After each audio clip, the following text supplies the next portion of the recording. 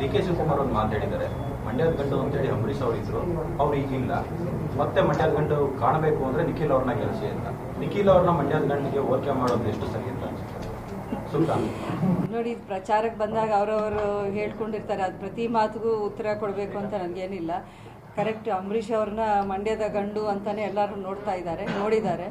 ಇವಾಗ ನೋಡ್ತಾರೆ ಮಂಡ್ಯದ ಹೆಣ್ಣು ಅದನ್ನು ನೋಡಿ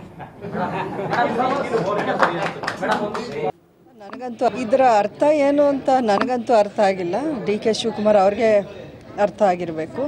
ಯಾಕೆಂದರೆ ಹೋದ ಎಲೆಕ್ಷನ್, ಅಸೆಂಬ್ಲಿ ಎಲೆಕ್ಷನ್ಗೆ ಮೊದಲು ಅಥವಾ ಪ್ರೀವಿಯಸ್ ಎಲೆಕ್ಷನ್ಸಲ್ಲೂ ನೀವು ತಗೊಂಡ್ರೆ ಅವರು ಯಾರ್ಯಾರು ಯಾರ ವಿರುದ್ಧವಾಗಿ ಏನೆಲ್ಲ ಮಾತಾಡ್ಕೊಂಡಿರೋದು ಅನ್ನೋ ದಾಖಲೆಗಳು ನಿಮ್ಮ ಹತ್ರನೇ ಸಿಗುತ್ತೆ.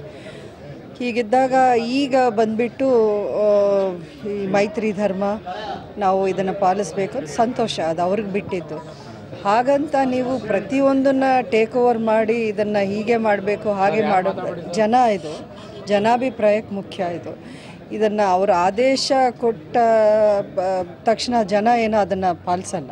ಜನ, ಜನರ ಪ್ರೀತಿನ ಸಂಪಾದನೆ ಮಾಡಬೇಕು. ನಾವು ಕಮ್ಯಾಂಡ್ ಮಾಡೋಕ್ಕಾಗಲ್ಲ, ಇದೊಂದು. ಅವ್ರಿಗೆ ಅಂಬರೀಷ್ ಅವರ ಆತ್ಮ ಶಾಂತಿ ಬಗ್ಗೆ ಅಷ್ಟೊಂದು ಕಾಳಜಿ ಇದೆ, ನನಗೆ ತುಂಬ ಸಂತೋಷ ಆಗ್ತಿದೆ. ಅಷ್ಟೇ ಕಾಳಜಿ ಇದ್ದಿದ್ರೆ ಅವರು ಡಿ ಕೆ ಸುರೇಶ್ ಅವರ ಸೀಟ್ನೇ ಬಿಟ್ಕೊಡ್ಬೋದಾಗಿತ್ತು. ಇನ್ನಷ್ಟು ಅವರ ಒಂದು ಭಕ್ತಿ ಏನಿದೆ ಅಂಬರೀಷ್ ಅವ್ರ ಬಗ್ಗೆ ಅದನ್ನು